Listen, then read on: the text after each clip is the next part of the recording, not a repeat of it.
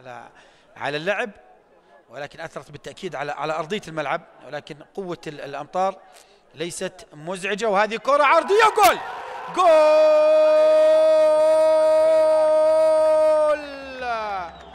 السيفي يرد بلغة الأهداف. لا نريد الاستحواذ ولا الفرص ولا التكتيك. السيفي هشام يلدغ مرمى العقبة بأول مباراة مع الفيصلي. هشام السيفي خيار طارق جراية بعرضية روعة من إحسان حداد ليتقدم الفيصلي في الدقيقة الأخيرة من الشوط الأول. الفيصلي هدف وهشام السيفي يقدم نفسه كنجم قادم جديد في سماء النادي الفيصلي. تحية للاعبين لزملائه في الفريق والفرحة بهذا الهدف. هذه قصة الهدف بأول هفوة دفاعية.